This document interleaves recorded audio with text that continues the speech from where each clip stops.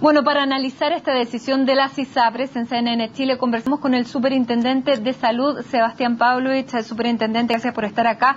gracias por la invitación. 4,8% promedio suben desde un 3,5 hasta un 8,6. ¿Qué lo justifica? Bueno, no, soy yo quien eh, el indicado para justificar las, las alzas que las ISAPRES han dado. ¿Algo habrán eh, hecho saber a la superintendencia cuando comunican estos datos? En, los últimos días hemos visto y nos hemos enfrentado en una, en una serie de declaraciones con los representantes del eh, gremio de las ISAPRES, puesto que ellos han eh, generado varios argumentos para justificar estas alzas. Desde un aumento de costos, que es real, eh, hasta que el año 2013 bajaron sus utilidades casi un 50% respecto del año anterior. pese que quedarse con esa foto, si uno ve la película completa hacia atrás, uno se da cuenta que eh, esta caída en las utilidades viene después de tres años seguidos de fuertes aumentos en sus en sus ingresos, en sus utilidades y que conforman, eh, de hecho, el año 2012 fue el año en que más utilidades ganaron por lo menos en los últimos 10, 15 años. Por lo tanto, nosotros no creemos que eh, esta situación, este escenario creado por la ISAPRES permita justificar alzas como las que hemos, la, como que hemos visto. Nosotros nos parece que, eh, obviamente, que cada ISAPRE es la encargada de justificar sus propias alzas, pero en términos generales nosotros esperábamos una actitud distinta, puesto que el, el alza de los costos del sistema se asocia también a muchos elementos que tenía que ver con la capacidad de gestión de las ISAPRES durante la última década y eh, que tiene que ver con decisiones que las ISAPRES no tomaron en su momento. Que, buscan o que debieran buscar contener los costos, como paquetizar, aranceles únicos, aumentar la competencia. Cabe, cabe eh, que aquí estamos enfrentando un mercado que funciona de manera muy imperfecta crecientemente concentrado, con, integración vertical, con falta de competencia. Un tercio de la cartera no se puede cambiar de, ISAPRE, con poca transparencia, con mucha dificultad para los usuarios para comprender bien cuál es la alternativa que le conviene y por lo tanto todo ese escenario es eh, perjudicial para el usuario, aumentan los costos por cuestiones que deberían ser mejor gestionadas. Y uno, el último argumento que, que esbozaron las ISAPRES tenía que ver con la judicialización, transfiriendo a los usuarios la responsabilidad de una judicialización que en algún sentido también es responsabilidad de las propias ISAPRES. En ese sentido, bueno, y tenemos muchas preguntas, pero el año pasado hubo 145 mil causas en el sistema judicial, eh, no así, no llegaron a la superintendencia. Eh, la primera pregunta es ¿por qué le creen más al sistema judicial que a la superintendencia? Lo que pasa es que tradicionalmente la superintendencia decía, frente a un alza del precio base, decía, bueno, usted puede aceptar esta alza y conformarse y seguir pagando más para mantener su plan, o cambiarse un plan más barato, o cambiarse de ISAPRE. Y los tribunales abrieron una línea de trabajo completamente distinta, mucho más protectora, que estableció un criterio mucho más exigente para las ISAPRE. Los tribunales dijeron, ¿sabe qué? Esta facultad para, para cambiar unilateralmente los contratos es una excepción en el derecho. No es normal que un contrato celebrado por dos partes eh, pueda una de ellas cambiarlo unilateralmente todos los años. Y eh, lo que dijeron los tribunales, sabe que esta, esta facultad eh, tiene que ser aplicada excepcionalmente y no arbitrariamente. Por lo tanto, estableció un estándar mucho más exigente para que las ISAPRES justificaran que estas alzas no eran arbitrarias.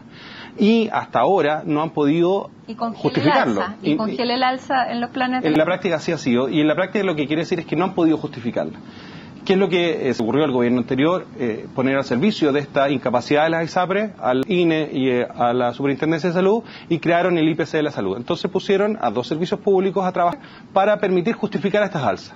Cuestión que nosotros no compartimos y por eso una de las primeras decisiones que tomamos cuando asumimos este desafío era decir que nosotros no estamos disponibles a hacer el trabajo que corresponde a las ISAPRES hacer, que es justificar adecuadamente que esas alzas no son arbitrarias.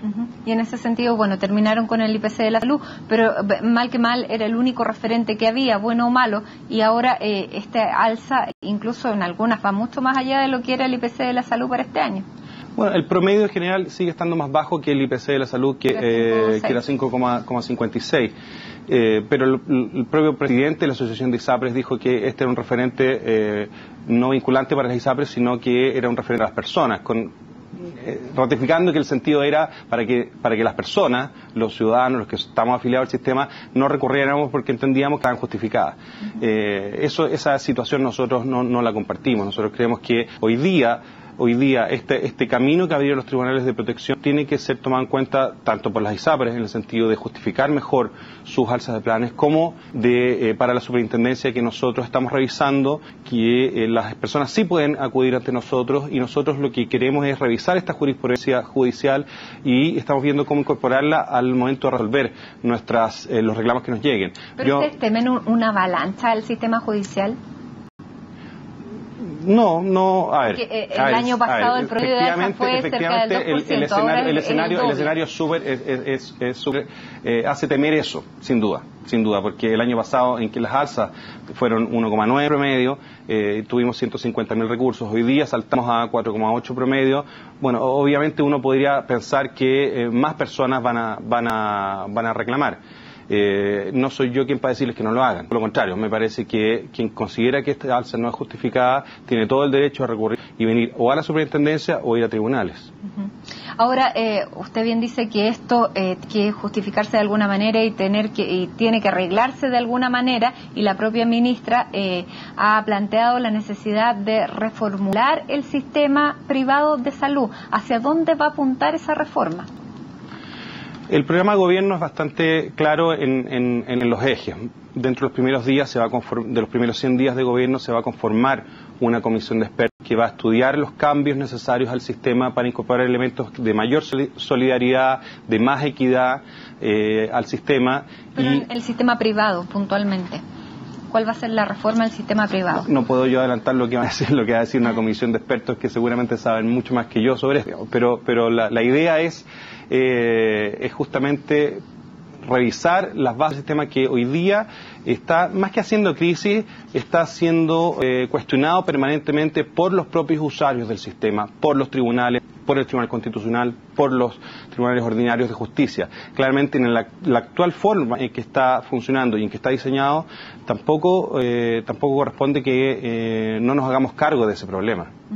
Ahora, usted ¿Qué, teme de esta judicialización de las, digamos, de las alzas, de las causas por las alzas? la, judicialización es, es problema, pero a mi juicio es, es el reflejo de un problema. Es el reflejo de un problema que eh, es estructural, que es normativo. Eh, ahora, sí mismo, como, como, como problema, lo que hace es distraer recursos desde la atención de pacientes, por ejemplo, hacia cuestiones administrativas, pago de costas judiciales, todo lo que tiene que ver con, con, esta, con, con, la, la máquina, digamos, de administración de justicia. Y eh, tal como las mismas ISAPRES lo han reconocido, finalmente los que no reclaman terminan pagando esos costos adicionales porque las ISAPRES incorporan estos, eh, estos costos administrativos adicionales en su cálculo y al año siguiente terminan eh, permitiendo justificarse alzas mayores justamente en base a estas alzas de costos administrativos asociados a judicialización. Por lo cual, en la práctica, el estímulo es para quienes no han reclamado hacerlo ahora porque de alguna manera quedan, quedan atrás en esto todo ese escenario de alzas, judicialización, alza, es un círculo súper vicioso que no beneficia al sistema de salud en su conjunto, porque justamente distrae recursos que deberían estar ocupados en mejorar la salud de las personas. Y que aparentemente va a ser tan fácil, porque teníamos recientemente al presidente de la Corte Suprema, Sergio Muñoz, quien decía que se puede hacer a través de Internet y es un trámite, eh, digamos, sencillo.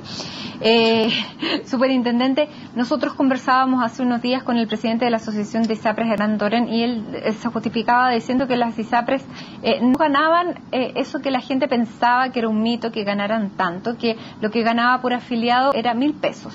Mm. ¿Es correcta esa lógica al aplicar estas salsas?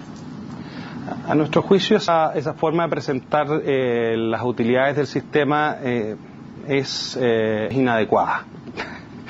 Eh, si uno calcula cuáles son sus ganancias sobre capital, cuáles, calcula cuáles son sus utilidades respecto eh, de un montón de factores del sistema, uno ve que durante las últimas décadas ha sido una buena. Es un, es un, es un negocio que no, no, está al borde de la crisis, ni mucho menos. Por número de afiliados, además. Y en los últimos dos años han entrado dos inversionistas grandes al, al sistema, por lo tanto, no vemos que eh, este sistema esté tambaleándose.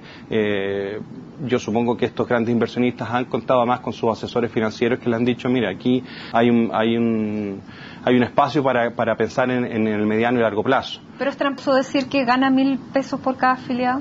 Eh, yo creo que es engañoso, efectivamente. Porque, porque da la impresión de que es un sistema que eh, las utilidades son completamente marginales y que poco menos que le están haciendo un favor a tres millones de chilenos. Eh, aquí hay un negocio y a ellos les interesa mantenerlo y hasta el momento es legítimo para la sociedad que esto exista. Por lo tanto, no corresponde eh, eh, plantearlo. Yo creo que hay mucha gente que en algún sentido se siente legítimamente ofendida porque considera que esas, esas, esas utilidades tienen que ver con disminución de sus días de licencia por pérdidas de cobertura o por no cobertura de algunas prestaciones. Por lo tanto, me parece que deberíamos ser un poquito más respetuosos de esas personas que sienten legítimamente que el sistema de salud privado no los cubre y no los protege adecuadamente. ¿Y qué va a hacer este gobierno por esas personas?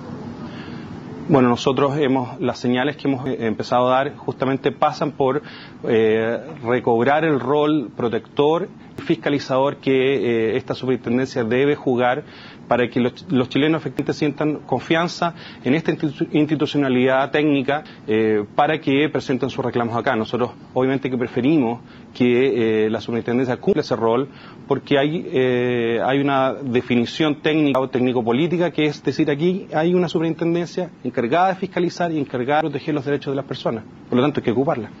Sebastián Pavlovich, el superintendente de salud, muchísimas gracias por estar aquí en este día en que hemos conocido la SALS de las ISAPRES. Muchas gracias. Nosotros hacemos una pausa aquí en primera edición. No se vayan, ya volvemos con más informaciones.